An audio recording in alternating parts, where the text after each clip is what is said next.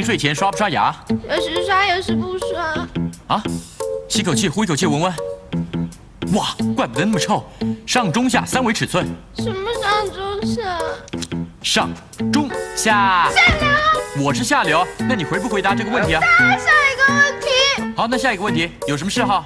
琴棋书画、唱歌跳舞，无一不精。无一不精啊，唱首歌来听听。唱什么？我哪知道？难道要我帮你想啊？三二一，唱。小马小二郎。等等，连唱带跳，载歌载舞，表演给我看。不要漏歌词啊！如果漏歌词，我一刀刺死你。三二一，来。小马小二郎，背着那给点笑容书包上学堂。笑得甜一点。不怕太阳晒，也不怕那风雨下面有千万观众在看着你，不能出丑，千万不要忘了歌词，跳好一点。你爸爸妈妈也在下面。嘿，啷里个啷里个啷个里个啷，啷里个啷。里个啷个里个啷。公主啊，小龟子，小龟子，这死鬼还不开门，要罚站啊！小宝，你这个死鬼，你还在那边给我睡大头觉！啊啊！建宁公主，你什么时候来的？啊，不好意思啊，我睡得很熟，没听到你敲门。你心里根本没有我嘛！这么多天不来看我，我死了你也不知道。怎么会呢？公主千岁千岁千千岁，死十字小宝都还没死呢。什么味道？没有啊，什么味道？香卤味不、是，墨汁味、不是，蜡烛味，是女人的味道。怎么会呢？太监房里怎么会有女人？可是你不是真的太监啊，是不是背着我搞其他女人？怎么会呢？自从被建宁公主扭过耳朵之后，小宝曾经发过誓，以后不会给任何女人碰到我的耳朵。最好不要被我抓到啊，要不然你就完蛋了。当然，当然了，随便找。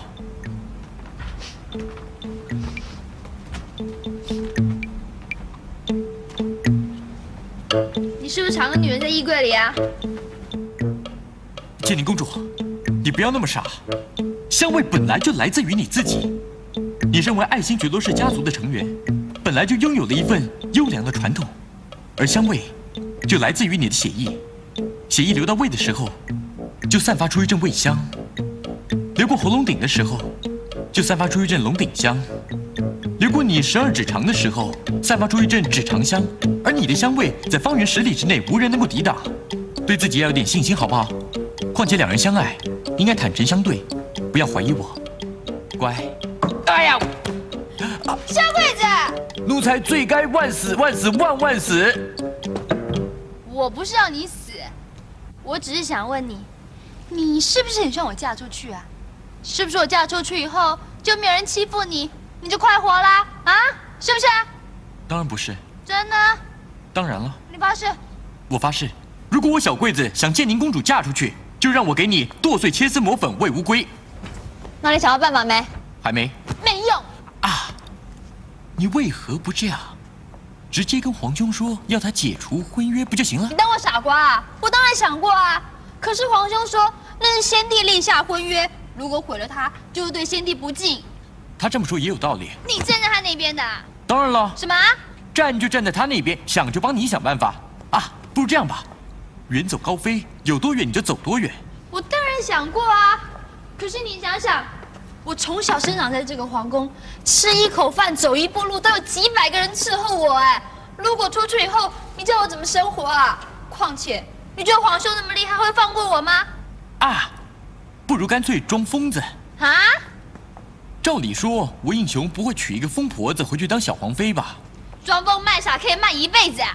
不用装一辈子啊，装个十年八载那就可以啦。你现在的样子都已经皱皱的，十年八载以后人老珠黄了，嫁给他他也不要。你叫我装疯装十年，那我宁愿去死。喂，你的女人快被人家娶做老婆了，你还在那边说废话，说风凉话，你根本就敷衍我嘛，你根本没有为我想过嘛，是不是？当然不是啊！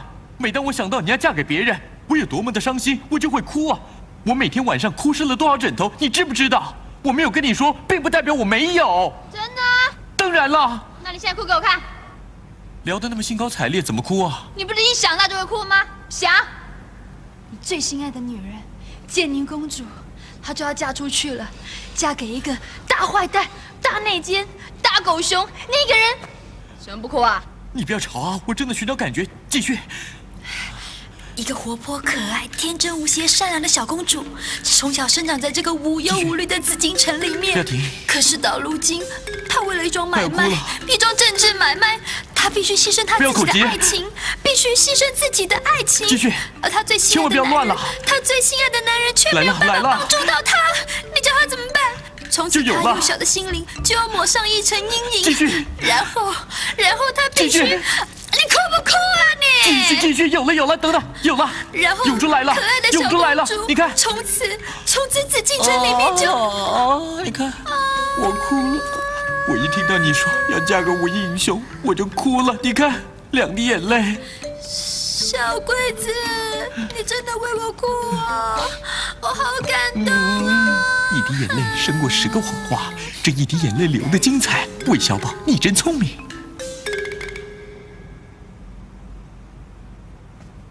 小郡主，小郡主，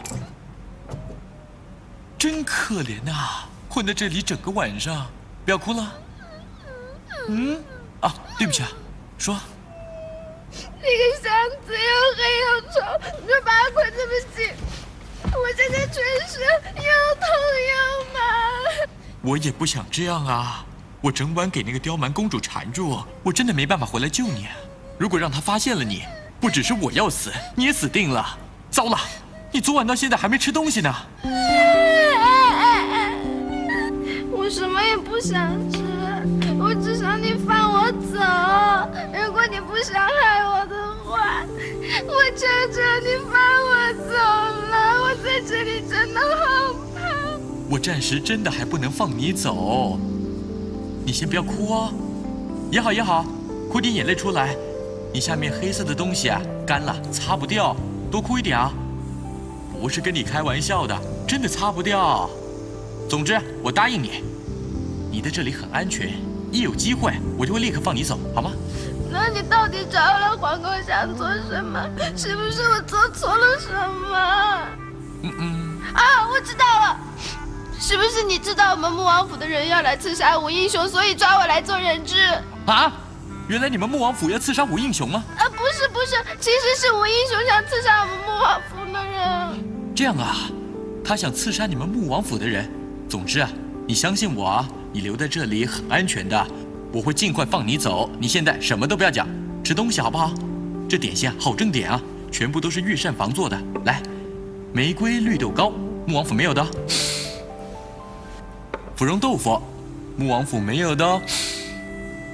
皇帝最喜欢吃的油薄脆，穆王府没有的。扭扭捏捏，不要吃了，不要吃了，饿死好了。好，饿死你最好。反正穆王府的人也不知道你在这里，死了也没有人知道。我就把你的尸体斩块、切片，煮熟喂狗、喂猫、喂蟑螂、喂蜥蜴。你这人好没有爱心，又有残忍！你为什么要这样对我我跟你开玩笑而已不要哭啊。如果我真的想杀你我为什么还要把你藏在自己房间里还要喂你吃东西？对不对？我从早上到现在也没吃东西啊我知道。你不肯吃东西是怕这些东西有毒？我有办法。我们一起吃那就不怕有毒了。怎么一起吃？一边咬住，我咬着另外一边。我数一二三，大家一起咬下去。一二三，嗯，好吃吗？一二三，嗯，好不好吃？一二三，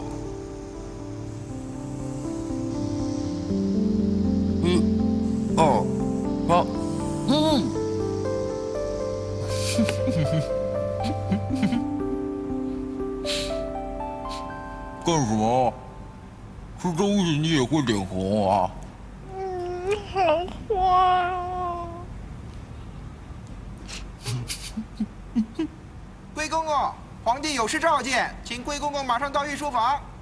哦，马上来。我现在要去见皇帝，马上就回来。哎，我想让你轻松点，先解开你的绳子。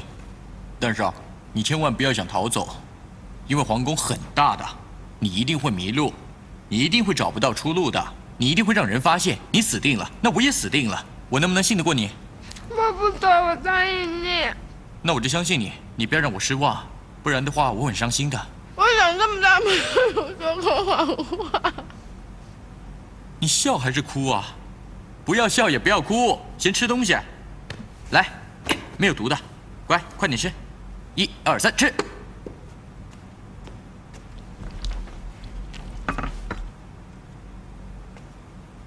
温室里的小花，傻得多可爱啊！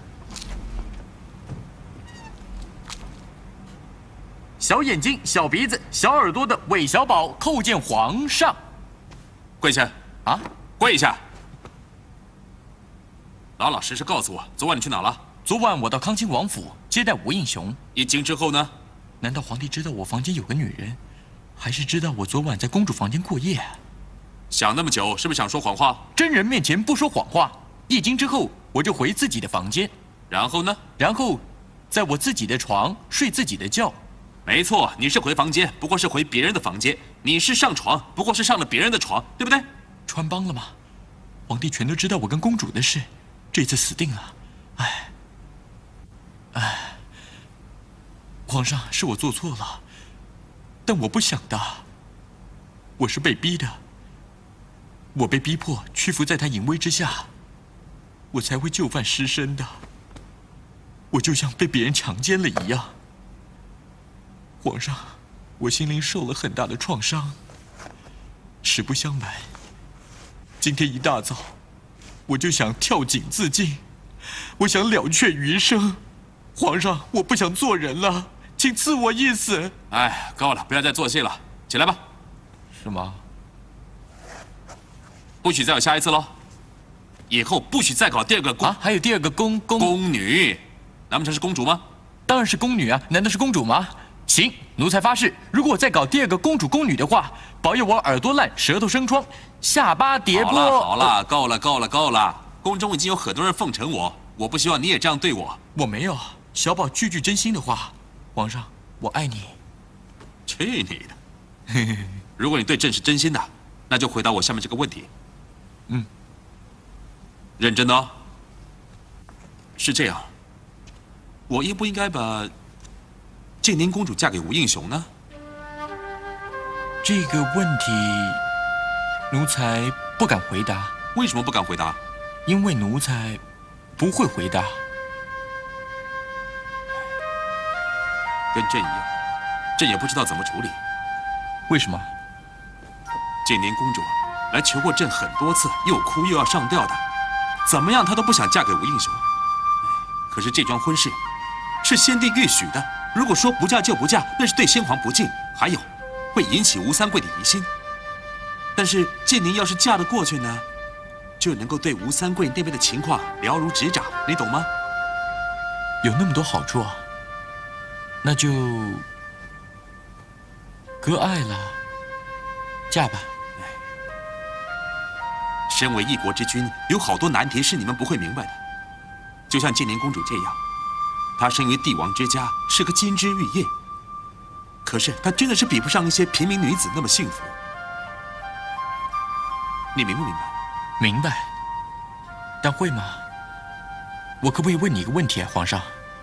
如果建宁公主爱上一个平民百姓，那你认为会不会？不可以，不可以。混账！对啊。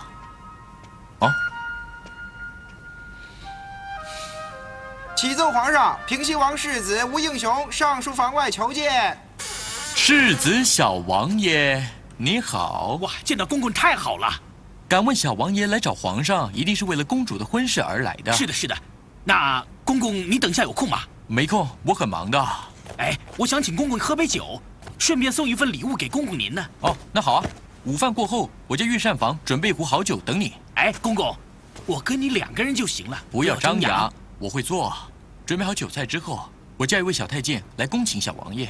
好，那我先进去见皇上，等一下见喽。慢走，慢走。这个吴应熊，也就是大汉奸吴三桂的儿子，也就是小乌龟，他娶走了刁蛮公主，我就可以脱离苦海，但始终都有一点点戴绿帽的感觉，不行。小王爷，酒菜已经准备好了，这边请。那就麻烦贵公公您了。不用客气。小王爷，请上座。公公请上座。小王爷先上座。公公先坐。那我们就一起坐。好。小筷子，倒酒。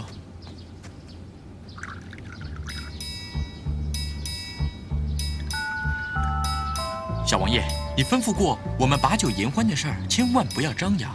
所以我只带了一个心腹小太监来伺候，你不会见怪吧？不会，这样做正合我心意。其实我也曾说过，根据大清律例，外臣是不许跟内官交往。但我跟贵公公一见如故，所以情愿冒着欺君之罪，都要争取机会来跟公公把酒同欢。小王爷那么疼爱小桂子，小桂子真是三生有幸。来，我敬你一杯。好，干杯！干杯！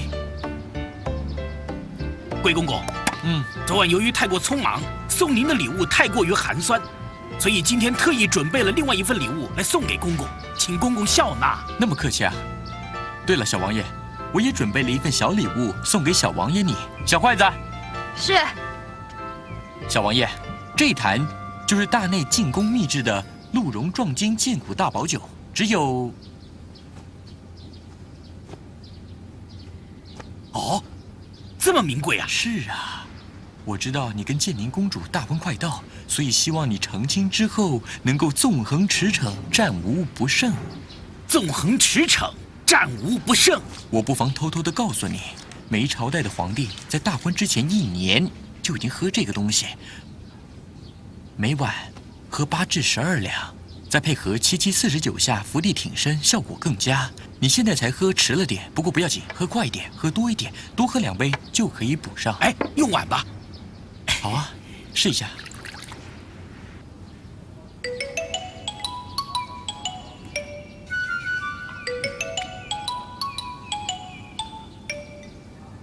为什么这酒有点怪怪的？是不是有点尿的味道？是有尿的味道哦。它珍贵就珍贵在这种味道，因为每一坛大补酒是由六六三十六串童子尿加上名贵药材配制而成的，一滴都不能够浪费。贵公公，既然那么名贵，不如你也喝一杯吧。小王爷，你不要耍我了，我是太监，补什么补啊？难道要补眼袋吗？好，那我不客气，我多喝几杯了。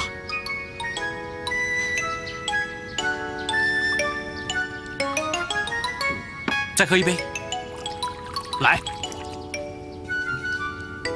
再喝一杯，再喝一杯，再喝一杯，再喝一杯，再喝一杯。我看我要做伏地挺身了，小王爷，小王爷，小王爷，尽情虐待吧！哼，这死鬼蛋，臭鬼蛋，烂鬼蛋，想出，想出啊！也让我揍两下，揍死他，打他，打他，打他，打他的头，打他，拿鞭子鞭他，抓住他，鞭他。鞭他，多打一下。你发疯了？你这样子会打伤他，他醒来会怀疑我我。可没打过哦，不让我打的话，我会绝对打你。继续打。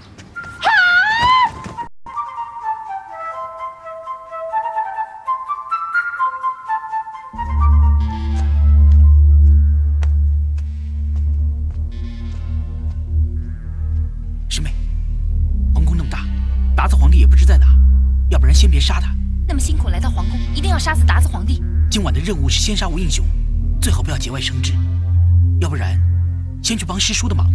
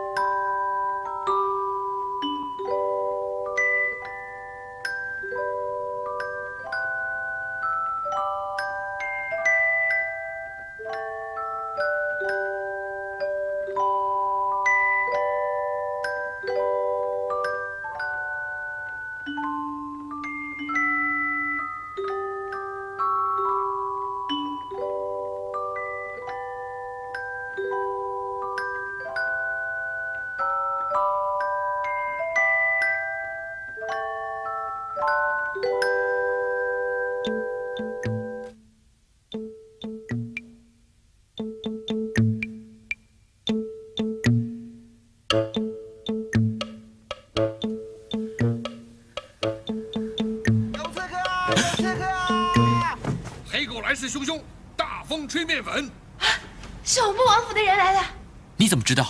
他们说的守墓王府的暗号，意思是说达子兵很厉害，各有各散。一定是他们刺杀吴应熊失败了。把他们围起来，别让他们跑了。惨了，我们的人被他们的人抓了，怎么办呢？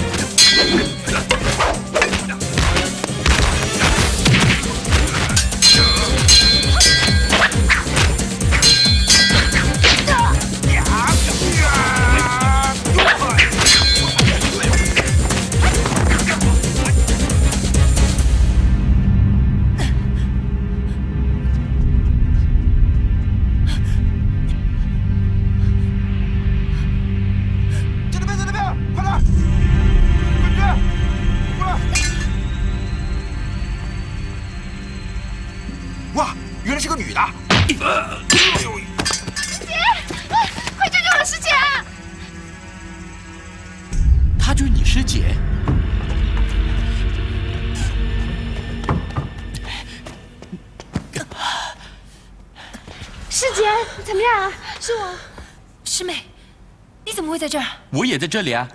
你不认得我了？上次给你赏了一个耳刮子那个。四太监，你长得这么丑，我当然认得了。龟公公，我求求你救救我师姐啊！你叫我什么？你答应过我什么呀？啊？达子皇帝的看门狗，他怎么会帮我们呢？不要求他。你不要开口也说狗，闭口也说狗。狗是人类最忠实的朋友，不应该这样对待它。你师姐，我求求你救救我师姐。鬼，老公，你叫他什么？救什么？我这么近也听不清楚，何况其他人呢？再叫一声，再叫一声啊！不准叫！死太监想占你的便宜而已。我就算死了，也不要你这只看门狗来救我。你要死很简单，我只要把你丢出去，我还可以向皇上领功啊。你千万不要龟老公，我师姐对我好好的，我不能看着她死啊！我求求你了。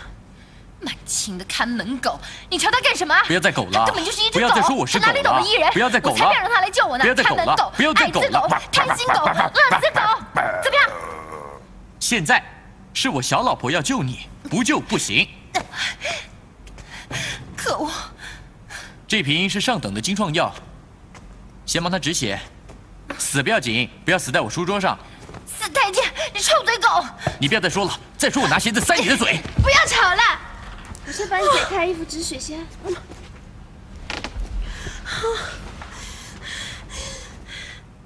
低一点，你手肘低一点。转开你的死人身，看什么？转开你的死人身，我的死人身已经转开了。还有你的死人脸，对不起啊，我的死人脸每天子时都要朝东啊。你转不转啊？龟老公，我求求你不要再看了好不好？好，我就听我小老婆的话，我才不稀罕看呢。师姐，你的伤口又大又深呢。满清狗，我有机会一定会将你们一个个剁成肉酱，吞到肚子里。，我变成了肉酱，到了你的胃，刺穿你的胃，刺穿你的肺，踢歪你的小肠肠。好啊，你来呀，你能拿过来我就吃得下。是你说的，先吞了我的拳头再说。吞了，吞了啊啊啊！你不要吵了好不好啊？好像全市有时候吵个没完。龟公公，御前侍卫陈三李四向您请安。刚才皇宫有刺客，您有没有事啊？我有事，就不会睡得那么安稳了。没事，皇上没事吧？独龙大人已经带了一帮御前侍卫去保护皇上，皇上没事。好了，全部都去保护皇上，我没事了。扎，小老婆，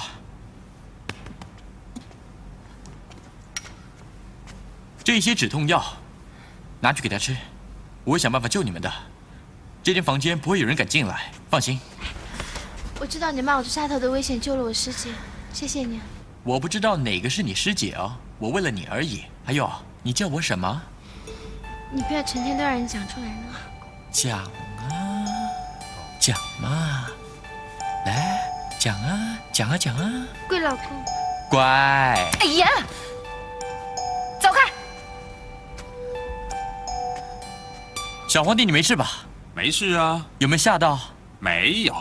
朕多想有机会跟他们这些刺客过几招，可惜宫中守卫森严，他们根本没有机会接近朕嘛。要不然的话，干嘛？看你的胆是不是长毛了？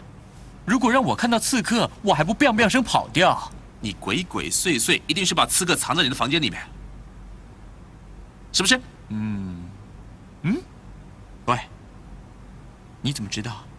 要不要到我房间搜搜啊？改天吧。哎，朕听多隆说啊，刺客的兵器上面都刻有平西王府的记号。是吗？穆王府的人用的兵器，上面竟然会有平西王的记号，你有什么看法？让我想一想。他们怕万一失手杀不了吴应雄，就栽赃嫁祸，说吴三桂想行刺皇上。简单，皇上有吴三桂的记号，就是吴三桂想行刺你。哎，当然不是啊。如果你是吴三桂想要行刺朕的话，你会笨到连兵器上面都刻有平西王府的记号吗？嗯，一定是有人想要嫁祸给吴三桂，然后希望朕误会他，皇上英明，那会是谁呢？有种来行刺朕，又想嫁祸给吴三桂，一定是整天喊着反清复明的天地会。天地会一定不会，你怎么知道不会啊？我哪知道？我猜的。帮我做两件事。走第一，去查一下这三个刺客到底是何方神圣。走。第二，通知吴应雄，跟他说兵器上面刻有平西王府的记号。哦哦你又知道了。皇上的意思是，想吓吓他们，然后让他们知道皇上已经识破了这个阴谋，是有人想嫁祸给他，然后让吴三桂跟吴应雄知道皇上是何等聪明，同时又信得过他们，对不对？不错嘛，果然是我肚子里的蛔虫啊！能够做皇上肚子里的那条虫，简直是小宝的福气。好了好了，回去睡吧。呃，好，那我收拾张床，我睡地，你睡床。不行，你睡走廊。走廊。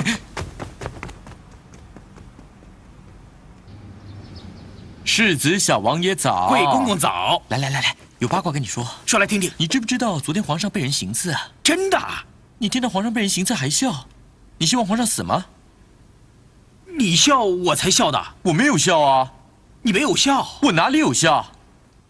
那我也没笑。你没有笑？没有，你没有笑？没有。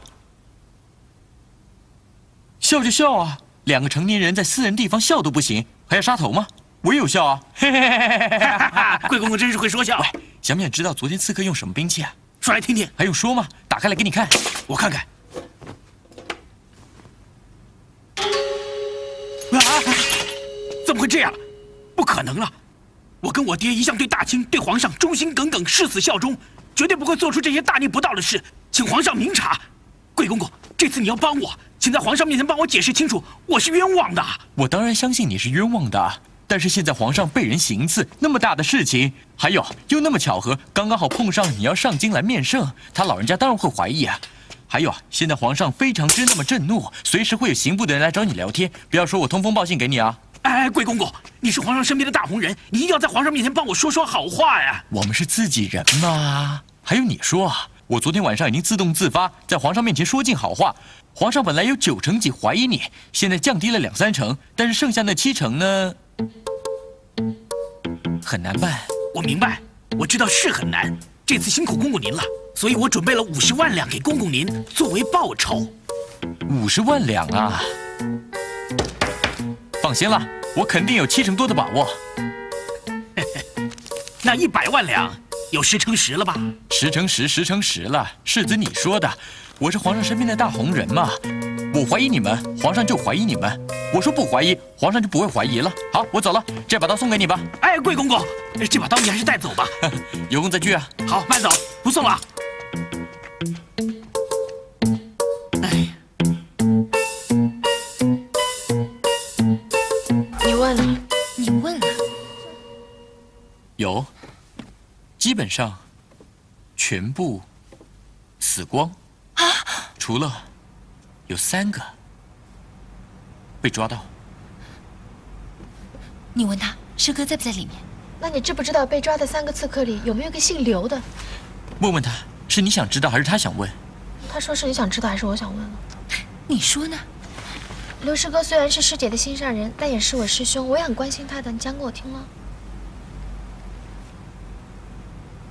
原来是方姑娘的心上人。唉，你为什么叹气啊？是不是刘师哥他？唉，师兄到底怎么样？他死了还是被抓了？你快点告诉我。我不能说。为什么不能说？我不可以说。你说呀。你身上有伤口，有伤口，我不可以让你受到刺激。不行啊，我也不知道。我根本还没有见过他们，我耍你而已。哈哈哈哈师姐，麻烦你帮我们打听一下，到底有没有姓刘的这个人，好不好？好。我有个条件。什么条件？叫他翻转眼皮来看看。怎么翻啊？我不会。就这样子翻。嗯。我不翻。随你便。那你继续想吧，反正你紧张又不是我紧张，我又不是跟那个刘哥哥有亲。他死他的事，怎么翻嘛？我真的不会翻。师姐，你就答应他翻下给他看呢。他这个人也没有什么，就是调皮一点。其实他很心软的。对啊，其实我很心软的。翻什么？我真的不会翻吗？他真的不会翻。有没有第二个条件？有。那你就向我眨眼三下，左眼。叮叮叮，再眨三下，右眼，当当当，然后呢，双眼一起眨，再叫三声“跪老公”，跪你的头，你下辈子吧，四太监。好，那我就叫皇上马上杀了那三个刺客。哎哎，好好好，我眨我眨我叫我叫。乖了，三二一，扎吧。贵老公贵老公贵老公，这一串是什么来着？都不知道是什么东西，好像镜莲似的。师妹，来，扎一下给师姐看看。乖了，三二一，扎！贵老公，贵老公，贵老公，就是要这种，这有什么难的呢？三二一，扎！贵老公，贵老公，贵老公，不错，现在师姐扎的比你好啊！轮到你再扎给我看看，三二一，扎！贵老公，贵老公，贵老公，两个一起扎！贵老公，贵老公，贵老公，好，我现在马上去查。哎，等一下，我们说好，万一失手，我们是不会说真名的。你怎么知道哪个叫刘一舟？情敌见面。分外眼明啊！我又怎么会不知道呢？一接近他，就闻出他的味道。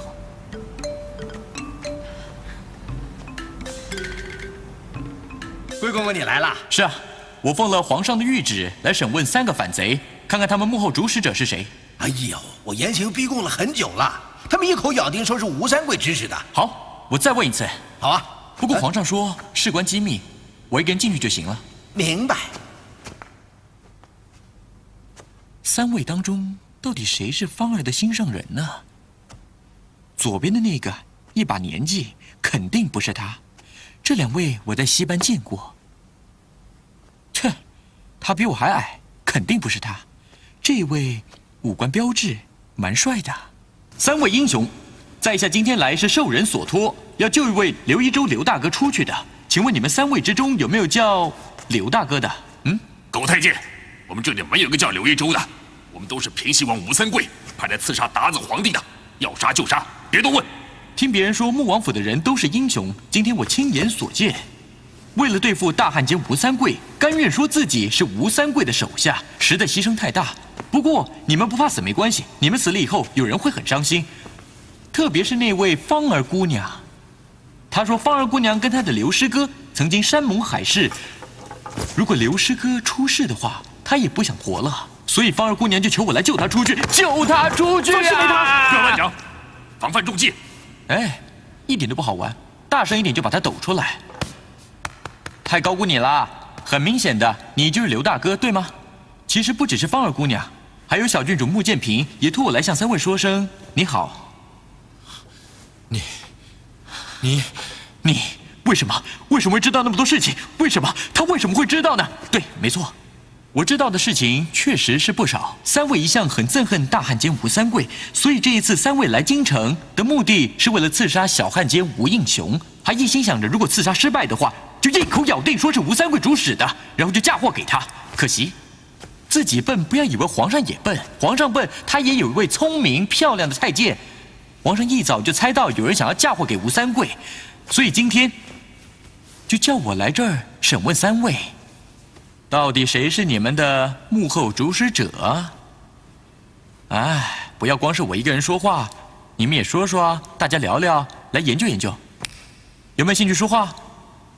有没有兴趣说话？哦，你意见最多，来发表一下，有没有意见呢？我早就已经讲过，主使我们的人是吴三桂。果然是英雄好汉，死到临头还依然坚持那份执着。不过皇上说，如果你们肯承认是穆王府的人，死罪可免；不认的话，明天就要推出午门斩首。斩首，斩首啊！斩首不要紧，方姑娘会很伤心。方姑娘伤心不要紧，最要紧的是自己痛苦，自己痛苦。刽子手的手势又不知道怎么样，一刀斩下来死不了怎么办？晃晃荡荡，晃晃荡荡，晃晃荡荡。不要再说了好可怕呀！你镇静点儿，不要被他吓到，不要被他吓到。已经吓到了，你看。我们进来早就准备死啊！你不要说那么多了。好，那么你们就好好的过这一晚。我叫方姑娘，另觅情郎，忘记这位刘师哥，嫁给我。凉风有信秋，月无边亏我思交的情绪，好比度日如年。哎，贵公公问的如何？不错，有点头绪了。我回去禀告皇上啊。这就要……哎，暂时不需要用刑，啊，继续赌钱。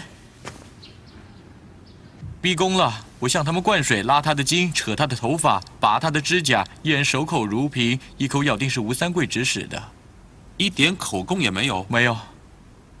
其实他们进宫来行刺朕，早就没有打算要活命了。如果朕把他们的头砍下来，他们也不会说实话，对不对？一点也没错。他们虽然是反贼，但他们每一个都很有骨气。嗯，你欣赏他们呢，还赞他们有骨气？不是，我不是称赞他们，其实我是在骂他们。如果各个反贼都没有骨气，我们就不用严刑逼供了。算你转得快。不过我有个新方法，就是放了他们。放了他们，我们用硬的不行，就改用软的。就算杀了他们三个，也只不过是杀了三个刺客。如果放了他们的话呢，就可以跟踪他们，查出真正的身份，知道幕后首脑，然后就一网成擒。绝对聪明。我好笨啊！你这个小混混啊，专门扮猪吃老虎。正所谓天子就是龙，就算我这头猪可以吃到老虎，也吞不掉你这条龙啊！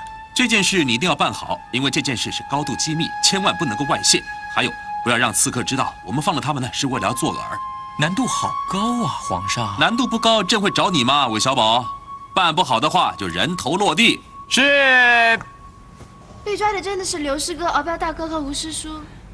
吴师叔名叫吴立新，满脸胡子，绰号摇头狮子，对不对？你听过我师叔的名啊？哈，我知道的事啊，可多了。你还有一个大哥叫做穆剑生，你们穆王府里有刘白、方苏四大家长，对不对？一个深宫里的普通太监，怎么会知道我们那么多事啊？我不是一个普通太监，我是一个脑筋转得很快的太监，很快你就知道了。哈，师姐，他真的好厉害哦，他什么都知道，连我们穆王府的人要刺杀吴应雄的事，他都一早知道了。那我们这一次的失败，是不是因为你？如果是因为我，你跟你的刘师哥早就到下面成亲了，还可以让你坐在我床上白活。师姐，贵贵公公他是好人，他是真心帮我们的，你不要误会他。还是小郡主了解我。哎呀，走开了你，成天非礼人家。打我！枉我帮你想办法救你刘师哥，还打我！你真的有办法救师哥？办法不是没有，不过有条件。早就知道你没那么好心肠，你说吧。贵贵什么？贵老公，我知道你人好心好，帮帮我们了。我好心帮你们，就等于残忍对待自己。为什么？你不会不知道吧？你们现在是刺客，我不但藏了两个刺客在房间，还要去放了被抓的那三个。万一给别人知道，不要说我呀，就连我祖宗十八代肯定会被抄家哦。还有啊，我家的狗狗身上的虱子全部都会被杀光。何况你们两个又不是我的什么人，嗯？对啊，你说的没错，我们又不是你的什么人，没有理由让你白白送死。我们刚刚到皇宫做大事的时候，早就没想着要活着回去了。不过，如果刘师哥被达子皇帝杀头，我活着也没什么意思，我宁愿和他一起死了算了。你们干什么呀？好像死了老公一样。你们贵老公我啊，还活生生的在你们面前。不要这样子啊！我的条件非常简单，只要我帮了你们之后，能够有两个这么漂亮的小老婆，让我死十次也不在乎啊。好，我答应你。如果你救了我师哥，我就做你老婆。什么？你真的肯啊？好，你发誓。我方已发誓，如果贵公公……等等，在这个重要的时刻，我已经不叫贵公公了，请你叫我宝宝。宝宝，亲切点，怎么样？保还是不保？好恶心！我方已发誓，如果宝宝救了我师哥的话，我就会嫁给宝宝。以后别人怎么称呼你？宝嫂，如果后悔，天诛地灭，不得好死。